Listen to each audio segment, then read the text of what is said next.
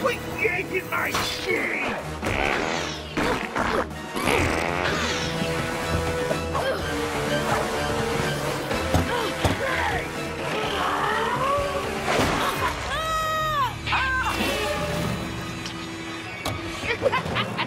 Oh, man, not again! Oh, I got invisible ink all over me. Looks like it's starting to disappear. Wait, why are you all staring at me? Do I have something on my face? Actually, you don't have a face. Or a body. What? Kevin, I can't see myself.